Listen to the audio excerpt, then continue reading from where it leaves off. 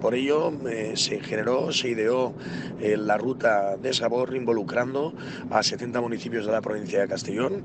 Más de 150 restaurantes eh, han participado de todas aquellas jornadas gastronómicas vinculadas a la gastronomía de, nuestra provincia, de nuestros productos y también pues hemos introducido a lo que son los productores, 65 productores de esos productos tan importantes y tan ricos que tiene pues el mar, la montaña, montaña y la huerta o la ganadería de la provincia de Castellón.